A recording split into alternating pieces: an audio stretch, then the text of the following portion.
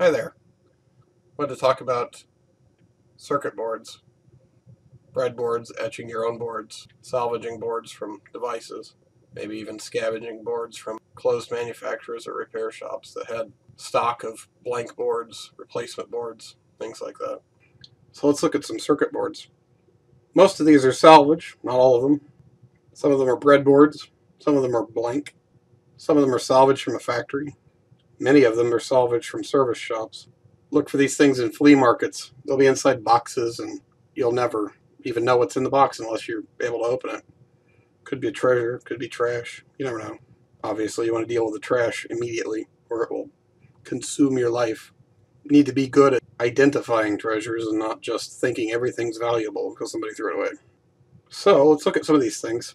If you're making your own circuits, you're probably going to prototype it. There's a few options for prototyping here. You've got this guy. This is a Radio Shack board. You can see it has traces on it with multiple contacts. There's bus lines.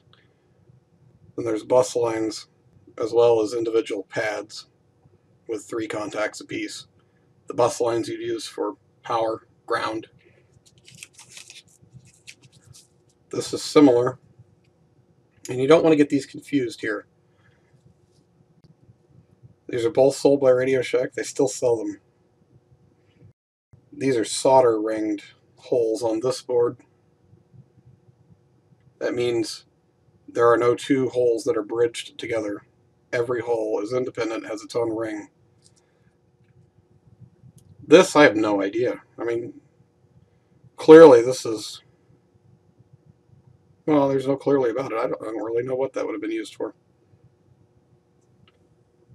This is bizarre.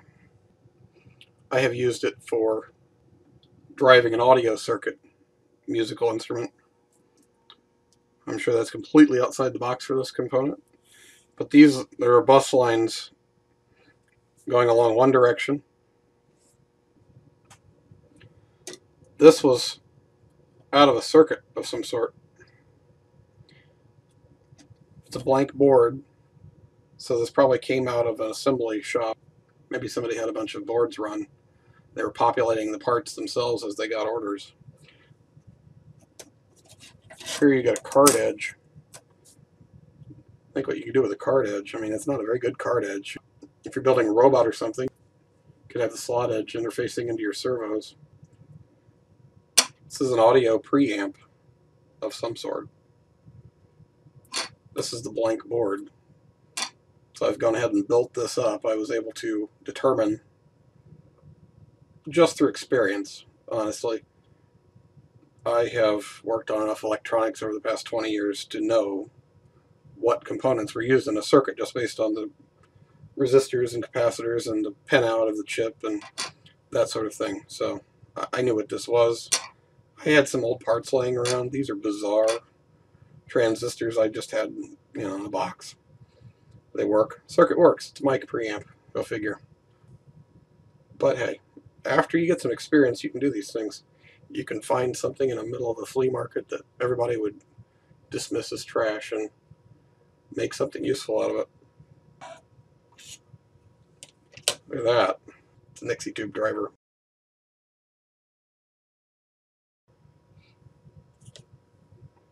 Again, salvage. This right here This is really an example use of one of these boards from Radio Shack. I have it lined with headers. These headers are for a Motorola two-way radio repeater. So this, these two, these couple wires I have here were wired up to uh, jump across for a few things that need to go between so you'd have the receiver on one side and the transmitter on the other. Now, we've got circuitry between. What's that going to be? Well, I intended it to be an interface panel. I don't want to use the Motorola controller. It's junk. It doesn't do the things I want. This right here, now this is something I don't want you to be too intimidated about building your own circuits, even kits, even things that might seem like they're complicated. Make sure you have the proper tools. Again, proper tools. That's a solder wick. I won't go into how to use it. Read about it. Watch videos online. Buy some quality solder. Don't use junk. This is Kester. You can't get better than Kester, in my opinion. Very high quality. But this, this was a blank board. I bought this board. There are a lot of kits that way. You could buy just the board. You don't have to buy the parts, especially if you have some of your own parts. You know, usually there'll be a bill of materials with a board like this. So you can buy the board. If you look at sites like um, Adafruit, I believe, you'll find they almost always sell the board individually, where you can buy it without parts and buy your own part. That gives you the opportunity of buying parts in bulk. So you can buy 15 or 20 Atmel microcontrollers at a time and save yourself a lot of money on parts. And then buy the board individually. Some other salvaged items. That looks meaningless, I would suspect, to a lot of people. This little guy is not. This is a Dialight. This is hugely useful. If you need an LED 7 segment display, all you need is this board and you're set. This basically has a parallel input. So you could drive this straight from mini ICs. These input pins will drive straight from mini ICs. This uh, board here is also salvage. I have thousands of these. These are very useful. They're NE 567 chip with all of the accompanying circuitry to make it work. 567 is a, a phase lock loop tone decoder. You supply an oscillator and it compares any audio input into the chip, or really any signal input into the chip. It compares it to the running oscillator, the RC pair. If they match, then the output goes high. If they don't match, it stays low. Look at the chips that are on stuff. If you go to a flea market and you see a bunch of boards laying there, look at the chips on them. Try to understand what they are. If you have a smartphone, look them up.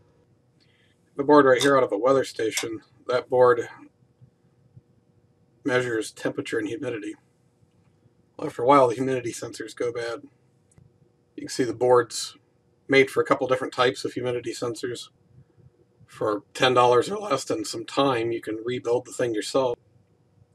Sometimes you're not going to actually even need a circuit board to build a circuit. This right here is an antenna tuner that I built. Very simple. This is a fairly simple construction. I just salvaged a case from something else, flipped the panel around on the front so the printing was on the inside. This might seem like a piece of junk, but I picked this up at a flea market. It is some sort of digital research branded light meter, I think originally obviously uh, whoever had it had a bad component in it, so they pulled that component, never re replaced it, never repaired it, whatever. They threw it in the flea market for, you know, a nickel. Has a uh, potentiometer on the back to adjust something. I don't know, maybe a calibrate, whatever. What I got it for was uh, Halloween decoration. You see I've uh, hacked up the circuitry a little bit here and uh, I made a, uh, a Cylon pumpkin. So instead of measuring light, it actually just bounces the light back and forth like your uh, good old Cylons. And uh, carefully planted that into a pumpkin, and eh, that was fun for a few hours. So here's a blank circuit board. It's never been etched. This is something you can etch yourself. Look for blank circuit boards at flea markets and things like that. You'll find them because a lot of people don't know what they are. This one uh, it's pretty old, probably 1970s, early 70s. It's warped. So it's warped, but it's um, that's not necessarily a death sentence. If you don't care if your circuit board's warped, and you may not, then uh, it's reusable. Somebody would have thrown this out, though, most likely. But if you're scavenging, you're probably not going to find these little tiny chunks of board. These are scraps, probably.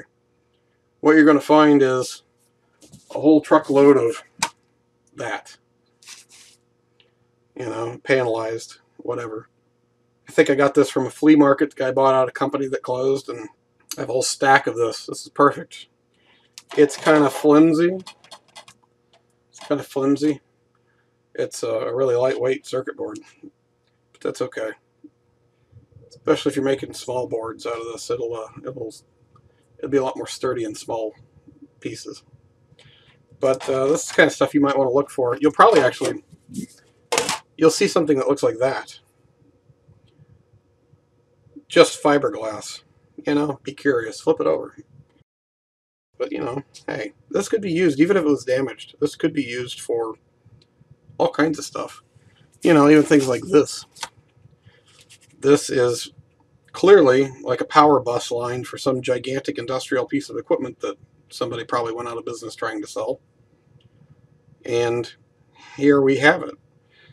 You know, you could use this for a power bus. Drill some holes through here, put banana jacks on it. There's some plenty of things you can do with this. Pretty much any electronic supply store is going to have a variety of etchants.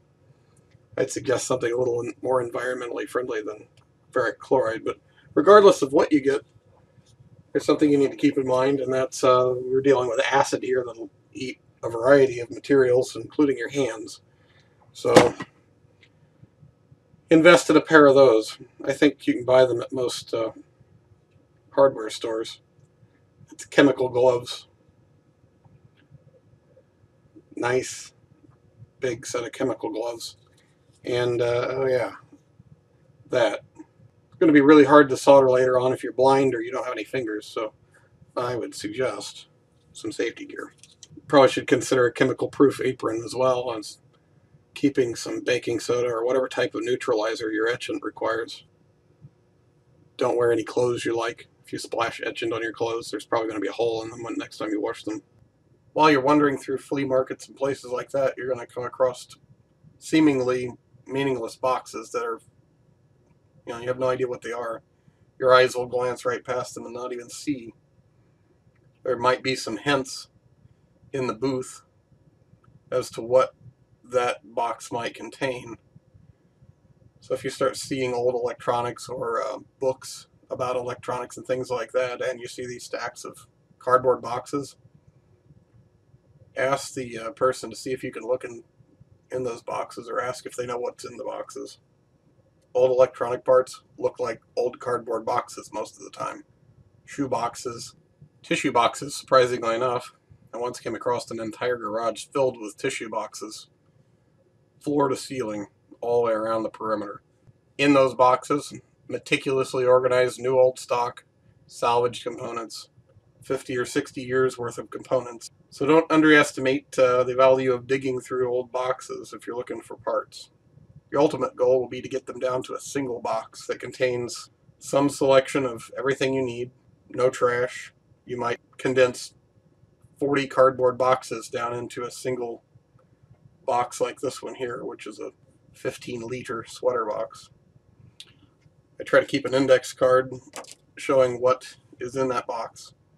It's not a comprehensive inventory of the box, but if I'm searching through a box, my index card might give me a hint if it's the wrong box or not.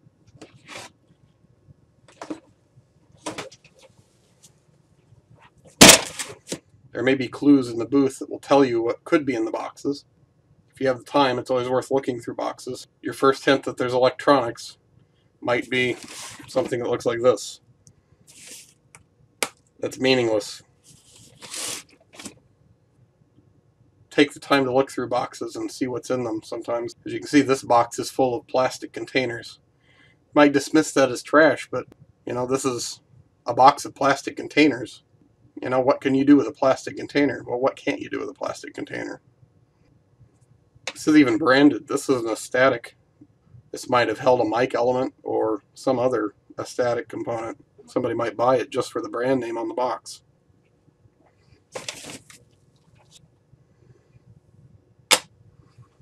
What you might do with a plastic container is organize your parts for kits. This is just a Dialight. It's a 7-segment LED display with a driver built into the board. All you need to do is supply logic so I've included a ribbon cable and the data sheet in a plastic box.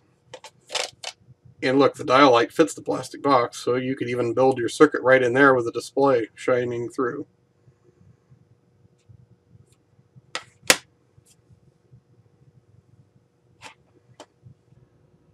This is my standard unit of measure. A 15 liter sweater box. 15 liters and 5.7 liters. They're the only size boxes I use. They kind of stack together better. I can stack all the 5.7 liters up on the top and the 15 liters on the bottom to weight the shelves down. So I use these heavy duty plastic shelves. You can buy them at most hardware stores. They hold a thousand pounds approximately, about 200 pounds per shelf. They're pretty sturdy. Obviously, keep the heavier stuff toward the bottom. This is generally the largest I'm willing to allow a collection of something to be. This is miscellaneous circuit boards. That's all the miscellaneous circuit boards I'm ever going to have. If I get more, I'll recycle some.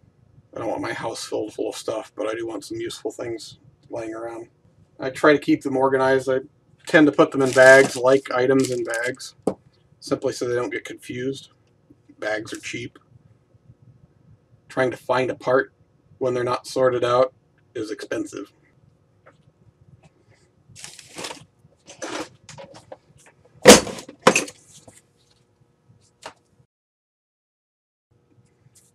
I keep a lot of mechanical stuff, but I don't keep more than will fit in this box generally. Uh, I actually probably will sort this box out even further and bag some things up. You know, all kinds of stuff. I have many light components in here and they're not organized at all. I don't like that. I can't find things.